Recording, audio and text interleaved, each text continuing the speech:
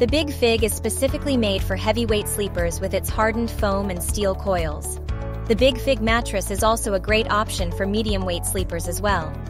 The edge support is impressive, and it feels very stable and solid. This is the type of mattress that you can feel confident throwing yourself onto. If you like to plop yourself onto your mattress, you will enjoy its bounce response and sturdy hold. For those of you that are looking for a two-sided mattress, this is not it. And that's because the Sleepside's quilted top is infused with the Big Fig Thermos Gel to help regulate body heat throughout your sleep. Check out the link in the bio for additional details.